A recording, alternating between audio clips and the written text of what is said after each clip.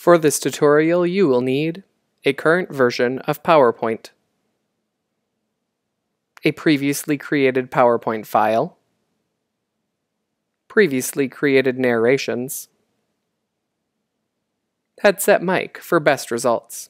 After viewing this tutorial, you will be able to add audio recordings to your PowerPoint file, preview audio recordings, delete audio recordings from your PowerPoint file.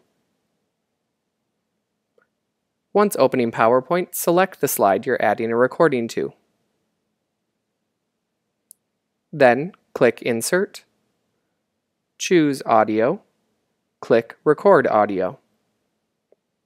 Here you have many options for your audio recording. You can also change the name.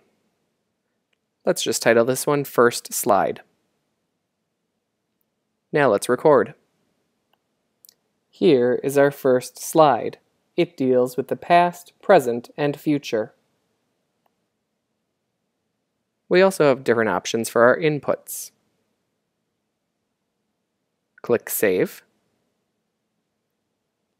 Now we have an audio icon. I drag mine to the bottom corner. We can preview it here. Here is our first slide. It deals with the past, present, and future. Deleting it is simple too. Just click on the audio icon and press delete on your keyboard. Great, now you're all set.